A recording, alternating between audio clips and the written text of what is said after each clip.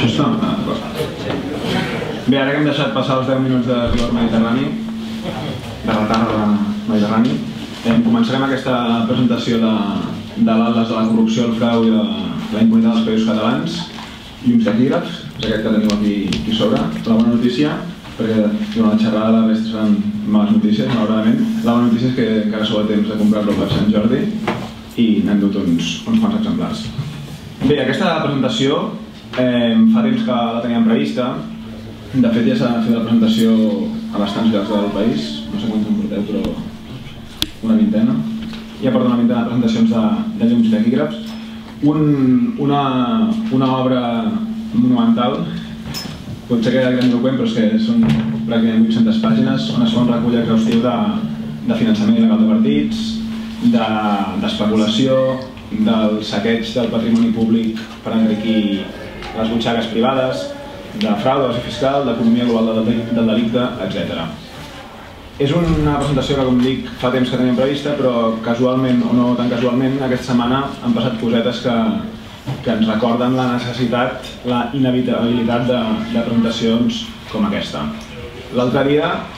i ho diré, suposo que més o menys els que estem aquí estarem una mica al corrent, però com que la televisió pública, la no pública, els diaris públics els no públics ens se n'han fet poc ressò, hem cal recordar que el dimarts va haver una conversa molt greu, que en qualsevol lloc normal si és que llocs normals, la veritat, si és que n'hi ha, eh, hauria, hauria suposat que les persones implicades sortissin a donar explicacions més quan un ha sigut president de la Generalitat. Suposo que esteu al cas, però era una conversa que, entre el senyor Pernafeta, que està, que està imputant un cas preratòria, i el senyor Mas, on es parlava de, de que un empresari, del qual no volien dir nom per telèfon, això vol dir bastantes coses, que no es vulgui dir el nom per telèfon, un empresari que diuen que és una persona controvertida de Terrassa, a la qual el senyor Mas diu ràpidament que sí, que ja sap de qui parlen, que vol fer un esmorzar en un lloc discret per facilitar coses i bé, el senyor Mas, que sap perfectament qui és, doncs accedeix ràpidament, diu que, que li truquin un minut que amb la gent de davant que concertaran una trobada. La cosa, aquesta qüestió de gaire nacional que ha passat aquesta setmana, és que té una, té una implicació local perquè la persona a qui parlen, no sé si n'esteu al cas, és el senyor Manuel Lau, és una persona d'aquestes que no pateix per arribar a final de mes, però que, entre moltes altres coses, és president de FIRSA, la multinacional aquesta del joc, que a part de posar escurabutxaques fa, fa casinos i moltes altres coses. Aquesta conversa té dues coses, penso, interessants, sucoses, pel que fa a la nostra ciutat. La primera és que l'empresa FIRSA es va quedar la planta de l'empresa Sharp aquí a la nostra ciutat, que si us recordeu el 2011 va tancar després d'un temps arrossegant problemes, de conflictes amb els sindicats, i llavors la veritat és que, i amb això assumim la culpa, encara no assumim a l'Ajuntament però estem a punt d'entrar-hi, ens va passar una mica inadvertit tot plegat i se'ns va vendre com una reindustrialització i una cosa bona, no? Ostres, es poder recol·locar algú de Sharp, nosaltres sabíem que fèiem pantalles de televisió i de cop, bueno, escurabutxaques, pantalles de televisió semblaven coses potser properes i ho vam veure com una cosa que salvava una mica els mobles. Però clar, després de que l'empresa FIRSA amb el senyor Manuel Lau com a president es quedés per un euro la, la planta de Sharp, al cap d'uns uns mesos es va fer una donació de 900.000 euros a Convergència Democràtica, que també casualment eh, respon al 3% de 30 milions d'euros, que és una mica amb el que es valorava la, els guanys que havia obtingut FIRSA amb aquesta operació. Casualitats, o no tan casualitats, però que, de les quals ens hem assentat aquesta setmana. A Sant Cugat no, no estem, evidentment, al marge de, de la corrupció. Jo ara faré una petita falca santcuatenca, després ells són els, els protagonistes de, de la xerrada, els que ens parlaran de l'Atlas, a fons, però la, el 2015 es va trencar la majoria de Convergència i Unió a l'Ajuntament, ara es diuen diferent, però el grup, segueix, el grup municipal segueix sent de Convergència, i aleshores aquesta pèrdua de majoria va portar algunes coses positives com el fet de que es puguin fer comissions d'investigació. Fins llavors, com que hi havia una majoria absoluta, doncs no s'havien fet comissions d'investigació i la primera que vam fer va ser sobre el Castellco. Arrel, que, bueno, des que la Guàrdia Civil va arribar a l'Ajuntament, va sortir tots els diaris, doncs vam veure que hi havia moltes adjudicacions a aquesta empresa i es va fer una comissió d'investigació per intentar esclarir això. Senzillament, sense, sense... Nosaltres no teníem propostes, o sigui, resultats a priori, senzillament volíem que s'esclarís. No? Sabíem que la Guàrdia va aquí, que hi havia irregularitats i volíem que s'aclarís. Ens vam trobar amb opacitat, ens vam trobar amb un procés ple d'irregularitats, de sobrecostos, sabem, no som tontos, sabem que sempre en qualsevol pressupost, inclús en el que fem nosaltres a casa quan ens arreglem una cosa hi ha sobrecostos, però sobrecostos significatius que malgrat la presència dels tècnics a les diferents reunions de la comissió no, no se'ns han explicat satisfactòriament. Malgrat que no s'han pogut demostrar irregularitats flagrants, sí que s'han pogut constatar molts indicis que ens porten a pensar que alguna cosa no es va fer bé, per dir-ho per dir suau. Ara, fa un parell de mesos, a més a més, eh, a la trama del cas Palau, amb Sant Cugat també, des de la CUP, Esquerra i Iniciativa, hem dut eh, una proposta de l'Ajuntament que s'ha aprovat de fer una auditoria externa per les concessions que s'han fet a Ferrovial. Ferrovial, recordem-ho, que el fiscal a les conclusions va dir que hi havia una trama criminal estable entre Ferrovial i Convergència pel que fa al finançament d'aquest partit. Per tant, el que nosaltres volem, volem demanar és que s'aclareixi com, com han anat les contractacions les concessions de ferrovial a la nostra ciutat. Davant d'aquestes coses, dues reflexions ràpides. Una és que molt sovint quan demanes, des de fora del govern, demanes explicacions per coses que com a mínim vols esclarir, no, no estàs dient que hi ha hagut corrupció directa, senzillament dius que vols, que tens dubtes i que hi ha indicis que, que permeten pensar que cal una investigació, el primer que t'acusen moltes vegades és de deslleialtat. Sembla que pel simple fet de, de preguntar estiguis dient que els tècnics eren eren negligents o que ho han fet malament la seva feina. Sovint fan això de carregar, estic dient que els tècnics, la gent de la casa no fa bé la feina, no? com per fer-te sentir culpable, quan tu l'únic que demanes és aclarir, aclarir els fets. I en segon lloc que la corrupció, com veurem amb, amb l'Atlas i amb l'explicació dels companys, no és una cosa d'un dia, és una cosa estructural i clar, quan algú fa una cosa de manera habitual es cura una mica de no deixar empremtes. No et trobes fulls on posi eh, donació del 3% a canvi d'això. Això no ho hem trobat. Això s'ha de dir, no ho hem trobat perquè, perquè no hi és. Però vaja, que hi ha molts indicis que apunten que efectivament hi havia una trama de finançament corrupte i que hi havia una relació de moltes concessions i moltes, moltes donacions i moltes irregularitats. Eh, aquest alt és un antídot. Jo quan el llegia pensava que és un antídot. Tenim una tesi actualment, amb el degoteig de casos de corrupció que hi ha, no sé si, em sembla que a l'estat espanyol hi havia 7 detinguts al dia, el 2015, per temes de corrupció. 7 detinguts al dia, 2.200 i escats a l'any. No és, una, no és una cosa d'un dia, com la majoria de gent veu, quan tu parles amb la gent del carrer, tothom veu que hi ha un problema greu de corrupció, però la tesi oficial és que es tracta de pomes podrides, això es fa servir molt, aquest concepte de pomes podrides, o gerents maldestres, o comptables negligents, gent que va per lliure, un tècnic que no ha fet bé la seva feina, però sempre intenten defugir la, les causes estructurals i, i negar sistemàticament que es tracta de, de trames, de, de coses que passen a diari. Per això, com que el context és l'antídot de l'anècdota, aquest atles ens serveix per rebatre això. Aquest atles és context, aquest atles fa un recull des de, des de la transició fins ara, un recull que jo he fet els euros una mica abans de la presentació i veient altres xerrades que s'han fet, es volia presentar molt abans, però suposo que el volum de feina va fer que s'hagi allargat un any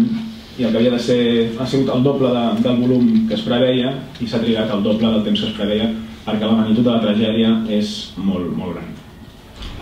Eh, res més, avui la, avui la xerrada va a càrrec de,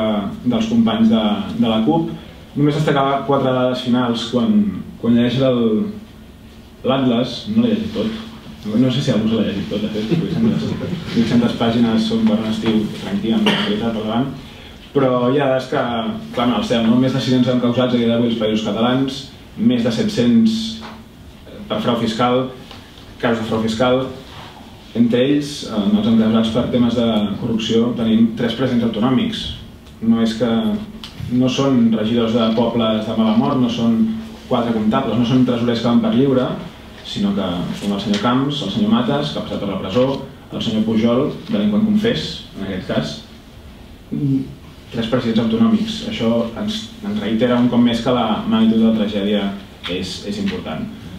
El cap i la fi el que recorda aquest context, que jo deia, per mi és el que m'he quedat, no? el context com a antídot a l'anècdota, que és el que molt sovint ens volen fer creure, que són anècdotes, casos aïllats, o en el, en el pitjor dels casos una successió de casos aïllats però que en cap cas toquen a, a l'estructura, eh, més que mentre no es canvien els valors essencials del capitalisme, una de les cites que diu aquí el llibre de la Miguel Serreta, no s'acabarà amb la corrupció del tot, perquè la corrupció és sistèmica, la corrupció és una part inherent del sistema que ens governa. Eh, avui per parlar de llums taquígrafs hem portat a l'Eulàlia Reguant, que és diputada de la CUP Crida Constituent al Parlament, i el David Fernández, que és exdiputat i que va presidir la Comissió Pujol, que es deia, tenia un nom molt més llarg, la Comissió Pujol, però el nom de la Comissió Pujol seria amb el que ens hem quedat. Eh, res més, us deixo més i gràcies per venir, per cert que no, no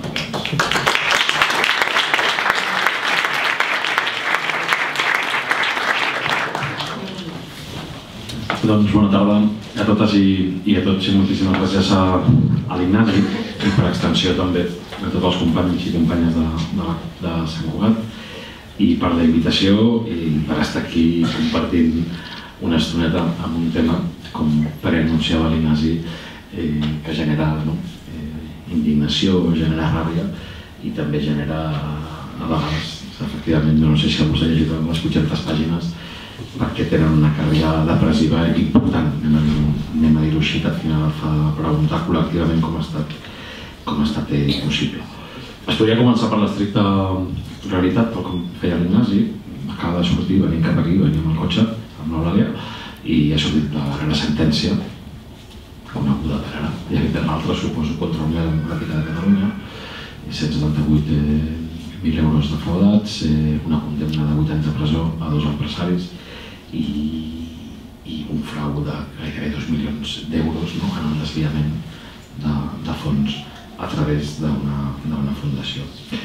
I també, com ha dit eh, l'Ignasi, la setmana també, la setmana i el trimestre, primer així, la setmana perquè com ha referit perfectament aquest nom que cap diari s'ha atrevit a dir, no? Aquesta, no? Aquesta empresari controvertit que sortia a l'Audiència Nacional en el marc de Cascatòria i que ningú de l'establishment mediàtic s'atrevit a dir que, es tractava de Manuel que entre altres moltes coses, perquè nhi l'historial que té no és controvertit, és un delinqüent confés, és un senyor que sobre la llista Falciani com, com a bessó, eh, com a bessó fiscal, a part d'enriquir-se a través d'aquest capitalisme ludòpata que suposa no, els casinos i les escurabutxaques i les converses, òbviament, que, que vinculaven a les hores cap de l'oposició, després president de la Generalitat, el senyor Mas, i també aquest equívoc que diu que vingui el germà Gordó i s'equivoca i diu Francesc eh, Gordo i no està tan equivocat perquè el senyor que surt al cas Casinos com el cobrador de Convergència de 1.000 milions de metres era en Francesc Gordo s'equivoca dels anys però no s'equivoca no s'equivoca eh, dels noms no? i òbviament amb la que cau el país veia aquesta setmana quan veiem directors de mitjans de comunicació presidents de OHL, amics de la monarquia eh, imputats i un president autonòmic, en aquest cas de la Comunitat de Madrid, doncs, eh, detingut en una operació, a més amb les vergonyes del que hem vist que passava a la Fiscalia Anticorrupció, que el fiscal en cap anticorrupció pretenia aturar l'escorcoll no? de l'habitatge de, de l'expresident. Per tant, un tema malauradament, no, malauradament eh, actual i encara irresolt i sobretot, i ara en el cas català jo penso que és el més important, quan tota una etapa de poder polític i econòmic s'asseu a la banqueta dels acusats. Al març va començar el cas Palau, a l'abril va començar el cas Pretòria i allà s'asseu el que ha sigut les bases fonamentals de la corrupció política a Catalunya. La corrupció està vinculada, òbviament, a l'exercici del poder. El poder en aquest país, en el període autonòmic, ha estat fonamentalment convergent i socialista i, per tant, en el cas Pretòria es veu clarament fins i tot aquesta comunió sociovergent entre destacats membres d'una formació i una altra, amb les seves particulars tupinades eh, especulatives i òbviament en el cas eh, Palau el que significa com hi ha l'enèsima no, demostració del finançament il·legal dels partits eh, polítics. Això seria la, no, la ràpida qualitat. Podíem afegir també la denúncia del Sumarroca, fundadors de Convergència, propietaris de Teico, que acaben de denunciar no, un mitjà de comunicació com crític no, per, recordar que malgrat estar investigada en tantes causes doncs, continuen rebent contractes milionaris de la Generalitat. Això era només l'anècdota curta i ràpida que deixa la setmana. I de restes presentar-vos, com, com deia també l'Ignasi, això que és Junts i Taquígrafs, que com també deia justament neix a les acaballes eh, de la Comissió d'Investigació del Frau Fiscal i les pràctiques de corrupció política, altrament coneguda Comissió Pujol, i neix primer d'una frustració, d'una frustració col·lectiva de veure amb impotència com el Parlament, la primera institució política i democràtica del país, és incapaç d'esclarir què ha passat amb una comissió d'investigació. Seria molt llarg parlar de les comissions d'investigació i perquè no hi ha instruments ni parlamentaris ni reglamentaris eh, per fer comissions, diguem a l'estil anglosaxó. Aquestes comissions tenen una potència i una capacitat esclaridora, especialment de responsabilitats polítiques, no és cap procés sumarial, però aquí es queden en aquella dita que prens ràpid al Parlament i que ja també ja coneix perfectament és que si no vols saber alguna cosa fes una comissió d'investigació no? patadón i palante i al final s'imposarà el, el silenci. Neix un treball col·lectiu, neix d'una frustració comuna i neix també encara i per sort d'una esperança compartida en què el present i el futur siguin un lloc diferent al que ha deixat, eh, el, que ha deixat el, el, el passat més estricte. Hi ha una reflexió i una pràctica molt copaire copera decidim també en aquest que si no ho fa el Parlament, si el Parlament no vol fer-ho, perquè el problema fonamentalment es diu voluntat política, ja ho farem des de fora. I que si no ho fa la institució, la la, la institució ja ho farà la societat. I això és un treball que òbviament impulsa eh, la CUP, però que es fa en xarxa amb Xnet, amb el grup de treball contra la corrupció eh, de Catalunya i amb totes les xarxes d'acusacions populars, més de 30 en aquests moments, als països catalans que lluiten cada dia anònimament i col·lectivament contra eh, la sagnia i contra el caràcter polític, ètic i cultural que suposa eh, la corrupció i avui, pitjor que la corrupció, com sabreu, la seva estricta impunitat. I com 800 pàgines us podeu resumir en, en, en, en 20, moment, en 20 minutets d'intervenció, sí que dirà el, el, el, la motivació, que precisament és això, intentar fer un atlas, un atlas inacabat, sempre el diem, és un mapa inacabat, perquè vam trigar aquest any, vam ser molt, molt il·lusos, vam dir, bueno, això ja hem fet la feina durant la comissió, fem l'edició i ho fem. Vam, encara vam, vam haver d'estar un any eh, treballant i intentant posar llums i taquígrafs sobre el passat eh, immediat i en alguns casos no, no tan immediat. D'aquest treball col·lectiu on han participat més de 70 persones, van sortir algunes eh, reflexions eh, o conclusions principals. No? Quina era la cara de, de la corrupció, quina era la dinàmica de la corrupció, eh, vam dir que era tan estructural com conjuntural, és a dir, formava part del mateix sistema institucional nascut en 1978, un model fonamentalment elitista, no? que es redueix el poder un pacte entre les velles elits del franquisme i els jocs estamparis de la nova, de la nova política, però que ella, les majories populars, del fet polític i també, òbviament, dels, dels fets econòmics i, per tant, és una corrupció que es concentra molt en les altes esferes del poder, que és més sistèmica que sistemàtica. No és que passi cada dia, permanentment, però quan passa es concentra sempre en la triple relació entre poder polític, poder econòmic financer i poder, eh, i poder mediàtic. No? Allò que s'ha anomenat com capitalisme dels amiguets, o més recentment, des de teories econòmiques nord-americanes, les elites extractives que gaudeixen el saqueig d'allò públic a un cost d'espoli social elevadíssim. De la sistematització de, de la corrupció als països catalans vam establir cinc grans focus radiadors de corrupció als països catalans, cinc grans focus que estan directament interrelacionats eh, entre ells i això servirà molt com a, molt com a píndoles. No? El primer focus és el finançament eh, il·legal i irregular dels partits eh, polítics aquests, no? aquests dies torna a estar eh, sobre la taula, això no és cap novetat, hi ha sentències fermes, i el cas Filesa, que afecta el PSC, i el cas Treball, i el cas Turisme, i el cas Fundació Catalunya Territori, que, que, afecta, que afecta Unió, i està obert avui no? la causa del Palau i, òbviament, el que significa Petron 1, Petron 2, Petron 3 i l'operació Pica a, a Torre d'Embarra, que s'investiguen els eh, del Vendrell. És un mal endèmic, això t'ho reconeix tothom en privat, tot el que neguen en públic t'ho reconeixen en privat, que és un mal endèmic des del naixement eh, no? de la fràgil, eh, fragilíssima i pèssima en termes de qualitat i intensitat democràcia eh, eh, espanyola, però el cas Filesa, el cas Treball i el cas Turisme no només tenen en comú que són casos amb sentència ferma de finançament legal de partits polítics, sinó que tots tres acaben igual, en la més estricta impunitat el cas Filesa amb indult, el cas Treball amb s'ha dit el 2012 pel PP, els condemnats a Unió, i el cas eh, Turisme amb una rebaixa de penes absolutament escandalosa que ens recordes que, que ens recorda que la presó només hi ha pobres i dissidents, no? i que els que formen part del sistema mai, mai, mai hi ha. Què ha canviat? Què significa el cas Palau? O, què, què creia de, de diferenciat entre el cas Palau i el cas Petro? Pues un canvi d'esquema, que és que hem passat de l'antiga comissió il·legal, això que s'investiga el cas Palau, ara deia de Teico, l'Ignasi m'ha fet recordar que sí que hi ha un paper de Teico, on surten uns càlculs del 3%, que és el cas Petro. I quan li pregunten als senyors de Teico i de Sumarroca en el cas Petro, no sé si està en secret sumarial encara, però perquè, perquè s'ha filtrat sobre això, que quan li pregunten la investigació del cas Petro és un tirall, és un dos excels. És un excel on posen totes les donacions, perquè són públiques a les fundacions de Convergència, i ha posat fa una altra columna amb l'obra pública que els hem aconseguit. I fan el tant per cent i el 40% està entre el 2,5 i el 3,5%. És a dir, han legalitzat un 3%, perquè les donacions eh, aparentment voluntàries són perfectament legals, és a dir, han legalitzat l'antiga comissió legal. Avui el que ja es pot dir, i és el que a l'Eulàlia li baixen al cap quan ho pregunta, és com és possible que empreses que guanyen concursos públics facin donacions milionàries a les fundacions dels partits que governen aquelles, aquells concursos públics, o al revés, com és possible no? que els partits que gestionen els concursos d'obra pública rebin donacions voluntàries de les empreses que els guanyen. Això hauria estat prohibit. No? O sigui, moralment és reprovable, però no és avui eh, penalment punible. Petro investiga això. Quan de voluntàries no?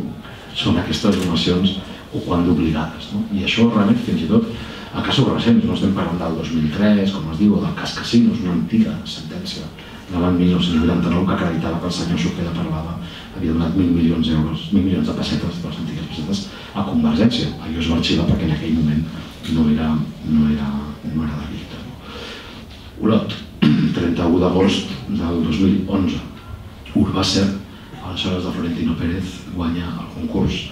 milionari de la recollida d'escombraries. El 6 de setembre expedeix un xec de 60.000 euros a la Fundació de Convergència i el dia 3 el senyor Viloca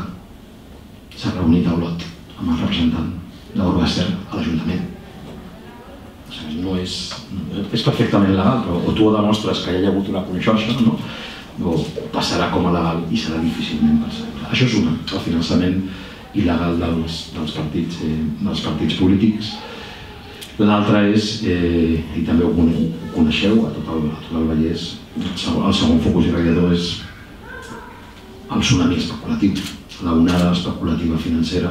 que va néixer el 1996 a l'estat espanyol, singularment als països catalans, i que es va portar per endavant moltes coses. I aquella onada especulativa i financera no només s'han portat el dret a l'habitatge de milers de persones, 150.000 desnonats als països catalans, no només ha multiplicat el preu de l'habitatge, un dret fonamental, doncs ha pujat un 271% en 20 anys, mentre els salaris només pujaven un 50% i la gran gallina dels sous d'or. No? El negoci, el miracle espanyol es fonamentava en escanyar les classes populars i en què la transferència de rendes de baixada es fes fonamentalment a través de l'accés a l'habitatge, no només s'ha carregat bona part del litoral ecològic dels països catalans amb la, amb la febre del ciment, no només es va carregar la independència de la premsa, que se la va carregar perquè la indústria immobiliària posava moltíssima publicitat,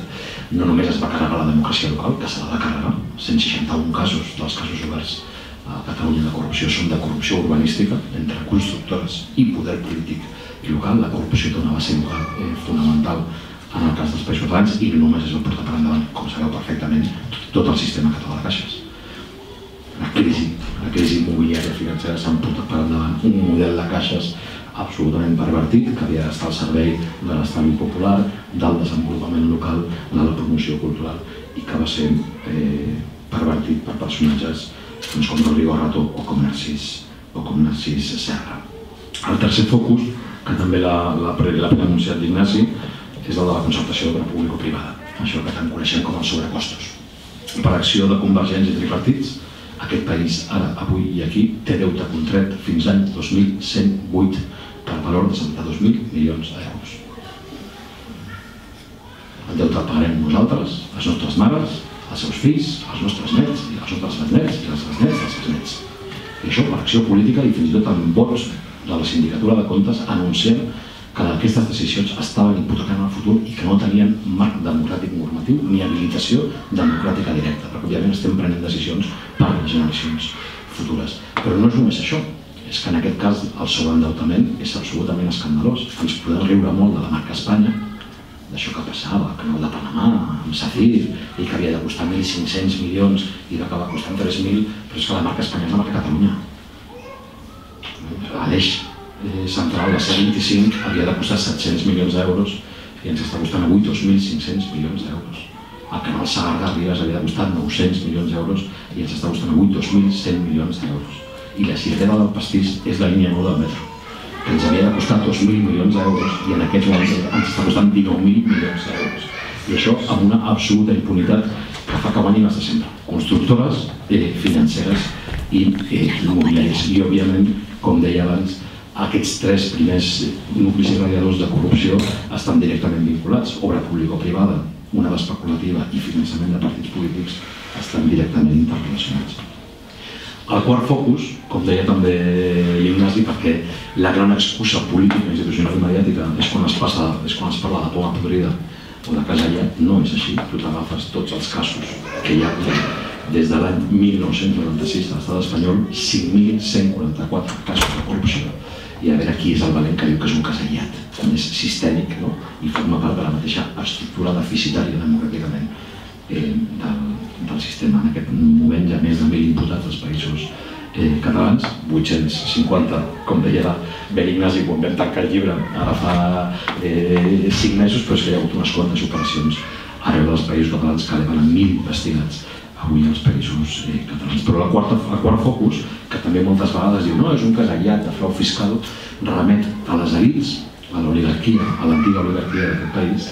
i remet a la indústria del frau fiscal, perquè no es pot qualificar d'una altra manera. És una conducta i un patró de conducta permanent i estable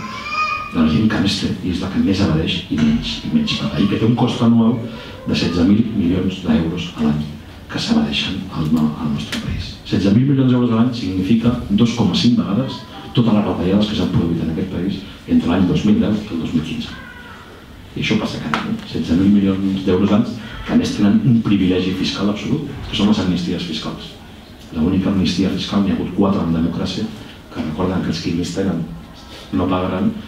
31.000 contribuents. Van fer aflorar 40.000 milions d'euros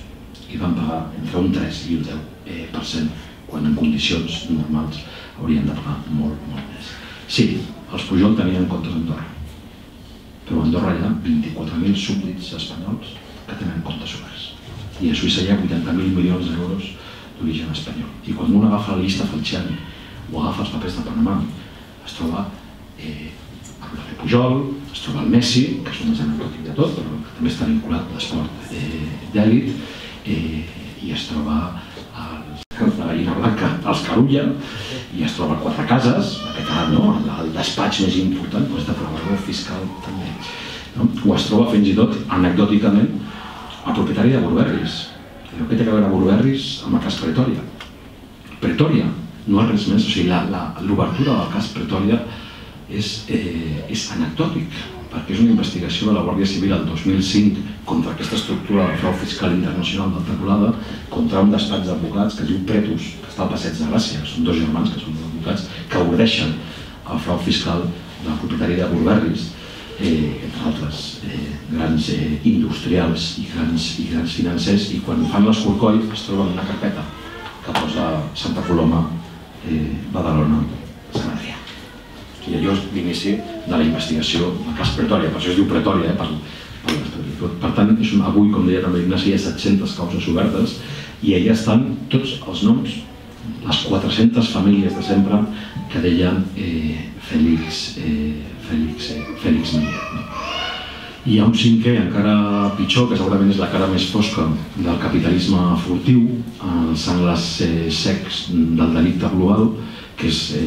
la colonització dels baixos de l'economia catalana per aquesta economia global del delicte. Tràfic de persones, tràfic de drogues, banquets de capitals. Hi ha 25 clans mafiosos detectats eh,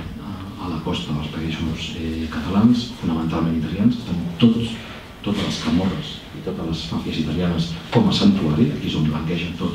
a la costa, especialment la valenciana, però també la catalana, des de la Camorra Napolitana fins a la Cosa Nostra, fins a la Sacra Corona Unita, eh, tríades eh, xineses que ja estan colonitzant l'economia eh, del port i també, òbviament, eh, la indústria del delicte que ve de l'Europa eh, de l'est, i ho dic com a origen, no com a criminalització. Eh, I això hi ha tres casos que sempre nosaltres fem servir com a, com a. Hi ha molts més casos, eh? només són casos, són pinzellades. Una, l'advocat de Jordi Pujol Caruso, de Jordi Pujol i Soleil, l'advocat de Jordi Pujol i Soleil en el cas Banca Catalana, el senyor Piqué Vidal,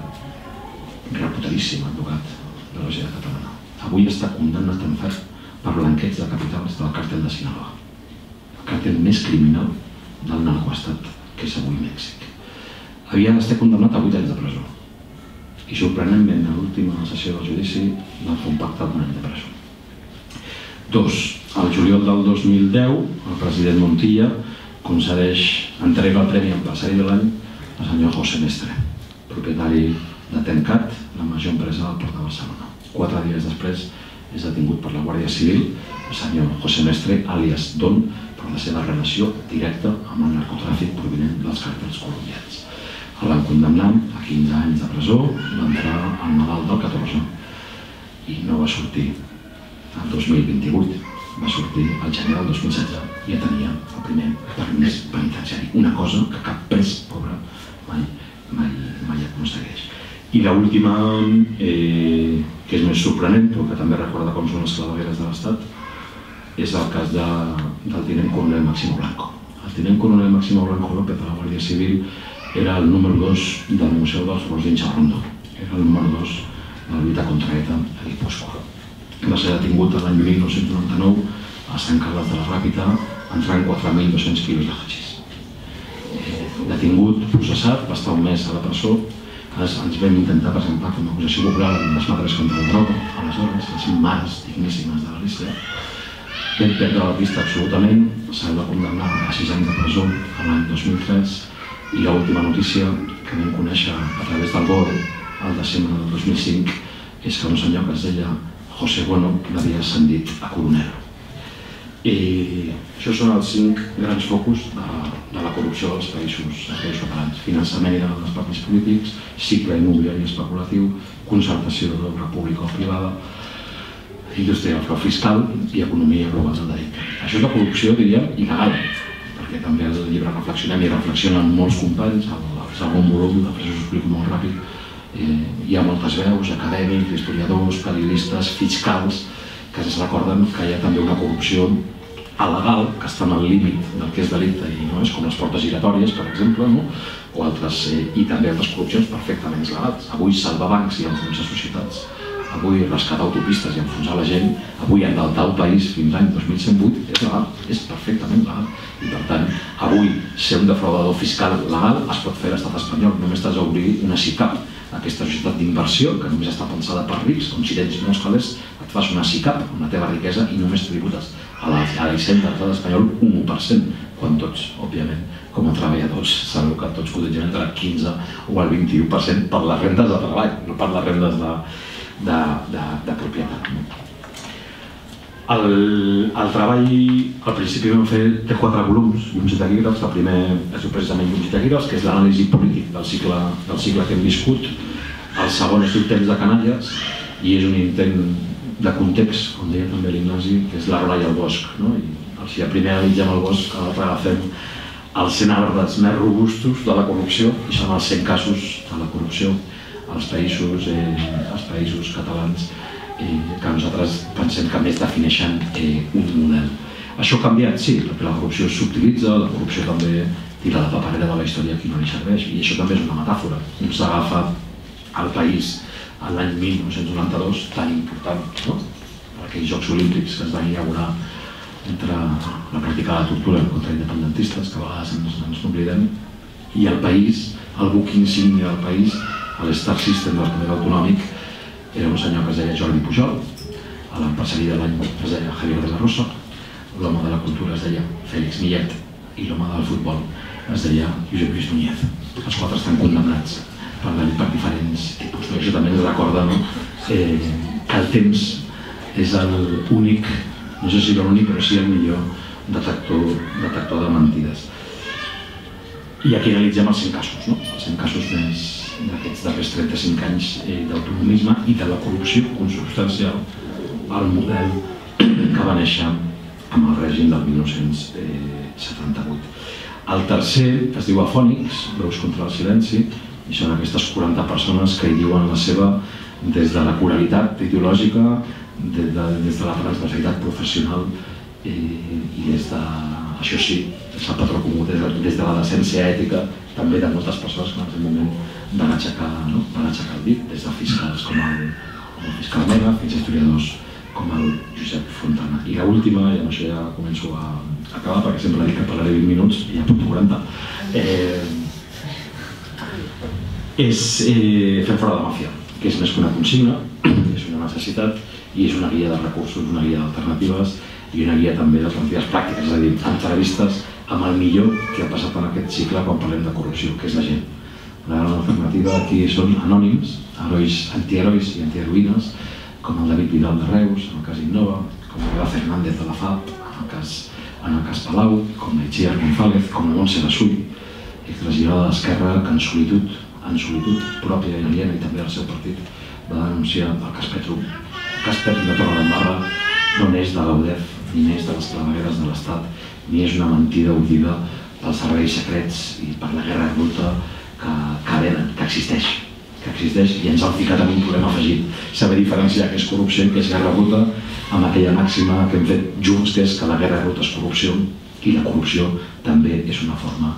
eh, de guerra bruta. La Montse Bassull és una exagirada d'Esquerra Republicana que va fer la seva investigació com de poder i que va obrir a Castelló i que molt malauradament ens va deixar ara fa un mes després d'una llarga malaltia. No deixa de ser curiós que els que hem denunciat sempre s'han quedat en solitud i que habitualment hagin sigut dones la Eva, la Itziar González, eh, la Montse, la Maria Mas, en el cas, en cas, eh. Així ha sigut el capitalisme dels amiguets eh, a casa nostra. El darrer, els darrers dos llibres, òbviament, la primera part és la caixa negra dels països catalans, els darrers dos és quins són els motius esperances, hi ha més de 150 mesures eh, diferents de combat contra la corrupció que es podrien aplicar avui. El primer problema que tenim avui i encara es continua dient voluntat eh, política, continua havent-hi una llei del silenci, la impunitat continua sent marca de la casa, hi ha hagut més de 226 polítics condemnats per corrupció indultats entre l'any 2000 i, 2000 i 2012 i sí que per acabar es podrien dir moltes coses, hem anat molt també a molts autors italians especialment a Roberto Scarpinato, que és l'actual cap de l'oficina antimàfia de Palermo, és eh, l'hereu no natural que els van matar de, dels fiscals Falcone eh, i Borsellino i ell parlava de que el capitalisme havia pres de la màfia tot el que la màfia pensava que havia pres del capitalisme i deia que quan una tribu colonitza un estat, que és el que està passant en aquests moments, aleshores tot el principi democràtic salta per l'aire i el que entrem és a la llei de la selva. És un vell debat entre Càliques i Sòcrates Sòcrates deia que el dret estava a protegir les majories dels abusos del que més tenia i Càliques defensava efectivament la llei del més fort. Però si hi ha una persona, i això dient-ho al Vallès, avui és important remarcar-ho, que ens va animar, que ens va ajudar, que ens va orientar en tantes mm, cruïlles i foscors de, de fer aquesta obra amb 70 persones, va ser una persona estimadíssima, eh, enyorada no? més que ell, però menys que demà, que fou en Xavier Vinader. I en Xavier Vinader és el que ens va deixar i ell tenia una màxima que està aquí al llibre a la portada inscrita, com un tatuatge, escrit al cor i a la neurona i a la memòria, que és que el combat contra la corrupció no és un combat ni policial ni judicial, és sobretot un combat ètic, polític i cultural. I amb això li dono la paraula a la meva estimada Olga Nova. Gràcies.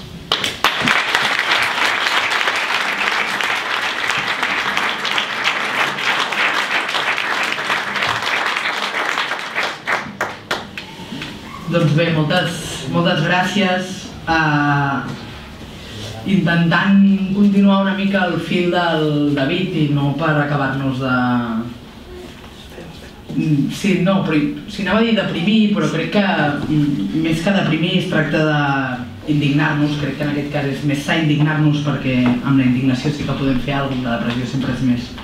complicat i es tracta que ens indignem per generar canvis, no? però agafant una mica aquest, aquest fil,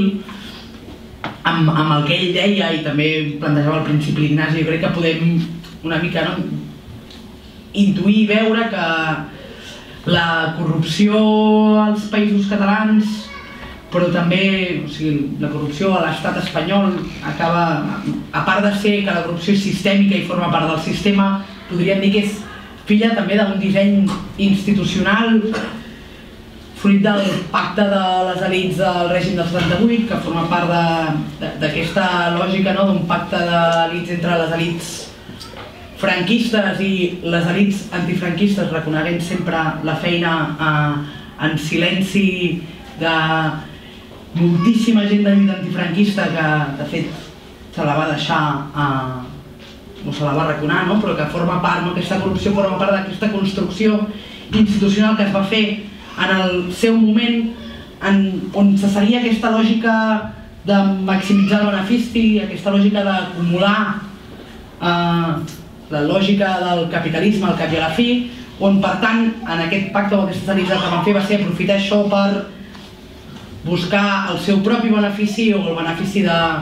el seu entorn, per tant, no? anant al capitalisme d'amiguets i que per tant, si aquesta és la construcció del, o el disseny de les institucions postfranquistes, les institucions autonòmiques en són filles d'això i per tant no? imiten o van fer un calc d'això. I en aquest disseny de les institucions autonòmiques quins van ser els suposats o els mecanismes fiscalitzadors dels que ens vam dotar, perquè en el fons ens vam dotar de mecanismes fiscalitzadors o d'intent de poder analitzar això. I bàsicament a nivell autonòmic, a nivell del Principat, teníem tres mecanismes, no? jo crec que volia, volia fer un, un primer anàlisi d'aquests mecanismes i veure a partir d'aquí què podem fer o quina és la realitat, no? però veure, teníem i tenim encara ara tres mecanismes, un és la sindicatura de comptes, aquesta sindicatura de, com, o sigui, de comptes que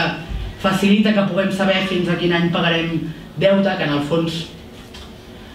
en un determinat moment amb la foto fixa l'acabaríem de pagar el 2108, però com que per pagar el deute que de pagar ens endeuteu més, doncs en el fons és una bola de neu. I el que el 2008 eren uns milions d'euros de deute, el 2015 eren uns altres, ara vam tancar el 16 amb 73.000 milions d'euros de deute, però acabarem el 2017 amb uns 80.000 uh, milions d'euros de deute. No? Per tant, vull dir que, que, que aquesta bola de neu, però que aquesta sindicatura de comptes és la que ens permet tenir aquesta foto fixa. És dir, aquesta sindicatura de comptes és la que permet deixar constància de la mala gestió o d'aquelles pràctiques corruptes, però és lenta, molt lenta en combatre-la és una institució que el que es dedica a fer és no? informes o anàlisis de les institucions públiques, de les diferents empreses públiques, fa els anàlisis comptables i posa negre sobre blanc d'allò que està ben fet o d'allò que caldria clarificar, però no denuncia, per tant no posa denúncies, es queda en un informe i alhora va en retard. Podríem trobar, per exemple, com a exemples per analitzar el retard, doncs que a mitjans del 2016 presentava un informe de la construcció del Moisès Brogi, de l'Hospital Moisès Brogi, 2008, no? Any 2008, construcció d'un hospital al Baix Llobregat, 2008, socioverge, o sigui, tripartit, Marina Geli, consellera de Salut, un hospital amb un sobrecost enorme, que per tant genera un deute amb una entitat financera que es diu La Caixa, un hospital que va construir una unitat d'empreses, una sèrie, una agrupació d'empreses que són Akbar, que com a empresa constructora mm, no sé què té, que va construir la caixa amb qui es genera el deute del sobrecost, Keiko, que coneixeu una mica bé aquí a Sant Cugat, i EMTE, no? I aquesta, o sigui, el 2008 es construeix aquest hospital, genera un sobrecost, i el 2016 la Sindicatura de Comptes presenta un informe on analitza que hi ha una sèrie de irregularitats o coses a clarificar, però clar, del 2008 al 2016 doncs és evident que passa molt de temps. Per tant, tot el que fa la Sindicatura de Comptes, o moltes de les coses que fa la Sindicatura de Comptes, no tenen conseqüències, més enllà de conseqüències polítiques de poder fer un retrat. Per tant, si no tenen conseqüències, la impunitat continua present i per tant mai es pot treballar en aquesta lògica de les tres R's que són o que haurien de ser essencials en la lluita contra, contra la corrupció i el frau, que és el reconeixement, la reparació i les garanties de no repetició. En el fons aquestes triple, aquesta triple R seria el que ens hauria de, de, de guiar o hauria de guiar totes les institucions que treballin contra la corrupció mm, per, per avançar. Però tenim, per tant, no, una primera institució, la Sindicatura de Comptes, que és útil i que ens serveix com a mínim els que volem posar eh, llums i taquígrafs a les coses per tenir informació que si no difícilment aconseguim, però que dificulta molt poder eh, tenir conseqüències. Tenim una altra eh, institució que seria l'oficina antifrau, que més enllà de el que, el que es va fer coneguda fa menys, una mica menys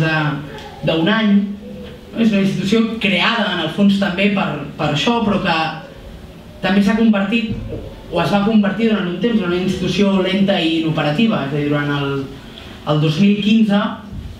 de totes les investigacions que va obrir o per iniciativa pròpia o arrel de denúncies o peticions de fora, algunes també eh, nostres, de fet va portar només un cas a Fiscalia. Per tant, és a dir, tota una institució amb 11 milions d'euros de pressupost que el que acaba fent és eh, només portar un cas a Fiscalia. És cert que, com a mínim, gràcies a el que fa un any va sortir a la llum, hi ha hagut canvis que apunten a, a bones pràctiques i per tant a, a convertir-la en una institució una mica o que sigui útil per combatre el frau i la corrupció, però que durant molts anys, i sobretot molts d'aquests anys els que ara estem coneguent eh, casos, sobretot l'últim període, ha estat molt inoperativa. I finalment, una última institució que seria la, la Fiscalia Anticorrupció, que també doncs, arrel de tots els casos que estem veient ara doncs, s'ha doncs, fet com o, o i, i el que hem conegut avui a la, aquest matí no? amb tot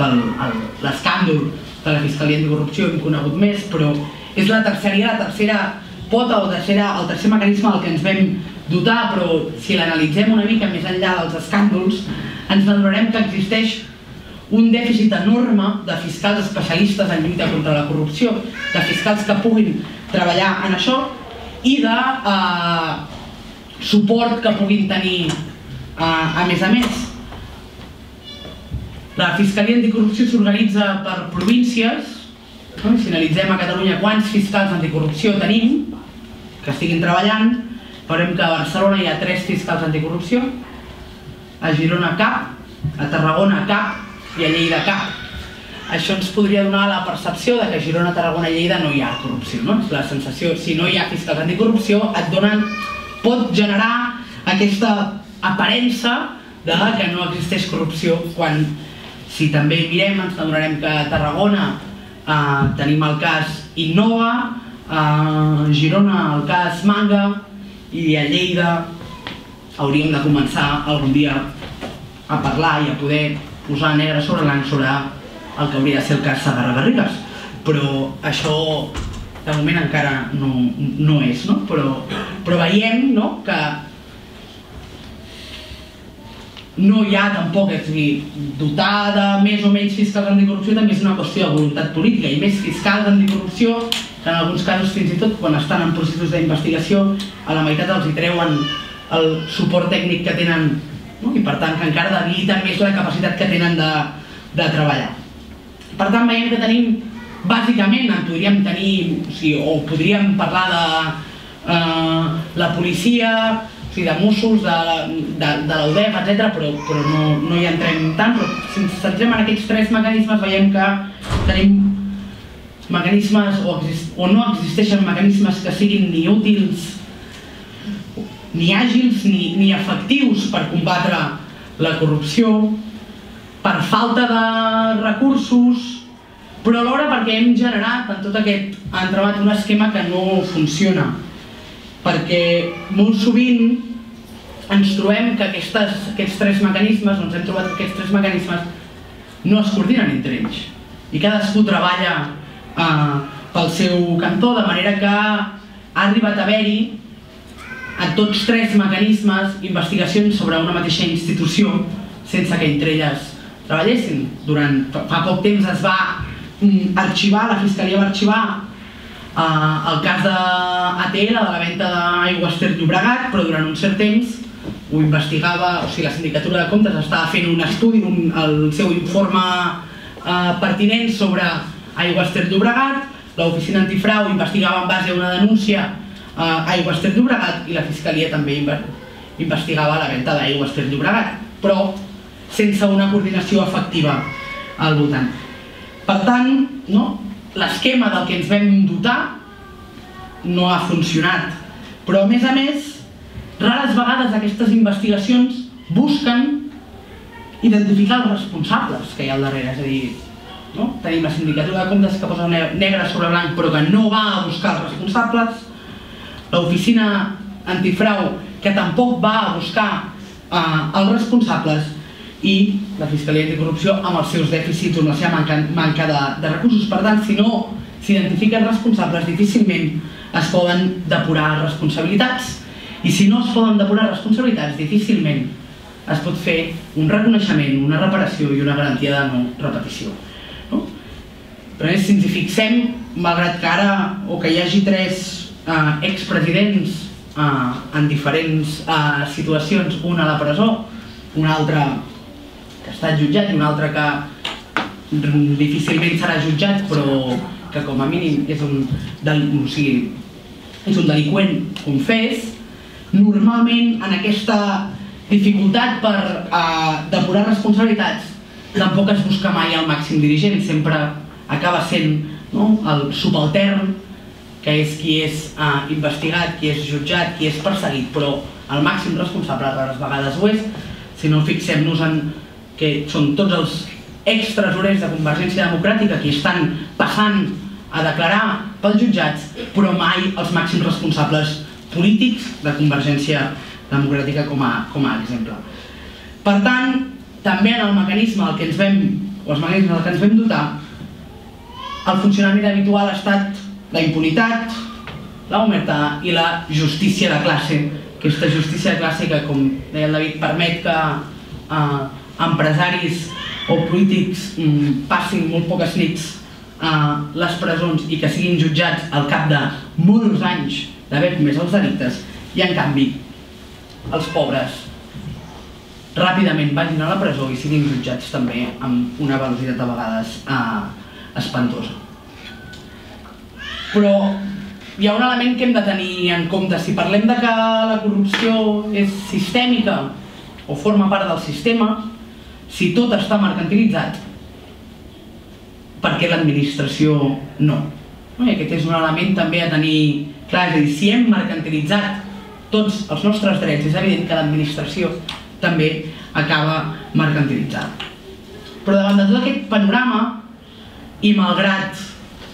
que en el Parlament, quan no vols fer una cosa, el millor que pots fer és una comissió d'investigació o estudiar alguna cosa, eh, i per intentar continuar la feina feta per la comissió Pujol a la legislatura passada vam generar una comissió d'estudi l'inici d'aquesta legislatura, una comissió d'estudi de mesures contra la corrupció i per la regeneració democràtica per no tant investigar casos sinó començar a posar propostes polítiques però també canvis eh, legislatius si era necessari per combatre la corrupció i posar eh, elements clau perquè no es tornés a, a repetir. I en aquest sentit, fa poc, de fet fa un parell de setmanes que es van aprovar finalment les conclusions, se'n van aprovar unes 247 en total, i, i en el fons la feina d'ara, més enllà de que el Parlament les aprovi, no, és, és venir i dir, bueno, doncs ara cal prioritzar i implementar i sobretot prioritzar i implementar en base a allò que serveixi no tant per eh, conèixer casos com el cas Palau o el cas Pretòria, sinó per evitar casos Palau i casos Pretòria. En aquesta comissió de, de mesures contra la corrupció, la CUP vam presentar 100 propostes. 100 mesures, moltes que ja venien de la Comissió Pujol, algunes aprovades i d'altres no. Les aprovades les vam tornar a presentar perquè com que no s'havien implementat, doncs les volíem tornar a posar sobre la taula. I com a, com a element així curiós o no tan curiós, moltes d'elles no es van aprovar gràcies als vots de Junts pel Sí i el Partit Popular i sovint també del PSC en aquesta lògica de que permanentment els de sempre i els que han estat governant sempre i els que han estat aprofitant-se sempre o els que han format part directe o indirectament d'aquests entramats s'acaben protegint i salvant les vergonyes no? i aquesta va ser també la lògica que va operar en això però en el fons es van acabar aprovant o plantejant mesures en la lògica de la transparència, entenent que la transparència per si sola no ens soluciona les coses, la transparència pot eh, ajudar, però veiem que malgrat sapiguem les coses, malgrat veiem excels de contractes o licitacions i excels de donacions a fundacions o de mostres que hi ha alguna cosa més al darrere o com que la donació a la fundació és legal i la contractació també és legal, és molt difícil demostrar, demostrar que hi ha uh, corrupció al darrere. Però per tant també un element que cal començar a posar és si les donacions dels partits polítics com fa alguns anys van, va, van acabar prohibint-se, si finalment es va aconseguir entendre que un cert tipus de donacions als partits polítics eh, eren cau de mm, pagar favors i hem après per la pràctica que fer donacions a les fundacions és exactament el mateix. Doncs prohibim les donacions a les fundacions també. De fet, ens hauríem de plantejar per què els partits munten fundacions. En el fons, els partits polítics acaben organitzant fundacions en part per generar pensament, però alhora també perquè és una manera de uh, moure diners o poder tenir un cert tipus d'ingressos que si no no poden tenir uh, a través del partit. Però alhora també les, algunes de les mesures que es, que es van aprovar era començar a regular de manera molt, molt, molt més clara tot el que té a veure amb les concertacions público-privades. Les concertacions público-privades que hem vist en tot el que són les contractacions d'obres, sobretot, però també en d'altres com han acabat sent una manera de uh, traspassar diners de lo públic a lo privat per aconseguir beneficis i maximitzar beneficis i una altra sèrie de mesures que tenen a veure amb els alertadors i amb tota aquesta gent solitària i massa sovint invisibilitzada que és la que denuncia i treballa i ha estat la que ha posat no? més enllà d'aquestes institucions també hi poguessin participar la policia però també hi pogués participar la societat civil també hi pugui participar tots aquests col·lectius que s'han organitzat per lluitar contra la corrupció, que porten anys plantejant mesures i propostes i fent propostes i que per tant també hi participin. De manera que govern, mecanismes o fiscalitzadors que tenim, policia, que és qui treballa també en la lluita contra la corrupció, i societat civil, puguin coordinar-se i generar propostes i polítiques que vagin realment a erradicar a, aquesta pràctica. I que puguem també començar a posar negre sobre blanc en la corrupció il·legal però també aquella que és alegal o legal, aquella que estem veient ara, dia a dia, que en el fons és immoral i que, hauria, i que, i que respon a aquesta lògica de traspassar de lo públic a lo privat a, a mans d'uns pocs allò que és de totes i que també hem de poder començar a dir que, que és il·legal o que ho hem de començar. El, el David parlava de, del deute, i això, no? de, en el fons ara és deute per pagar deute, però també veure com ens hem